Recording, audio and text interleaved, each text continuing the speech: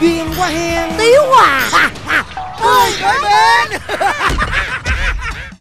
Trong tuần này, Lò Võ Tiếu Lâm sẽ chào đón một vị khách mời đặc biệt trong vai trò giám khảo. Đó là ai? Xin mời Em là cuốn chiếu, ba em là cuốn mền, mẹ em là cuốn mùng, em của em là cuốn gói, gia đình của em là cuốn mền mùng chiếu gói. Chúng ta cùng dành một tràng pháo tay lớn hơn, giòn tan hơn để chào đón MC Xuân Phú.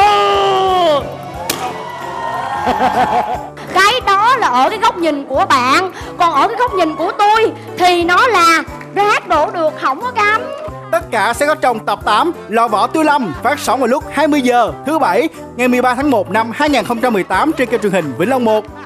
Khán giả tại Hà Nội đã có thể xem truyền hình Vĩnh Long 1 trên hệ thống cáp analog của VTV Cáp tại vị trí kênh số 8.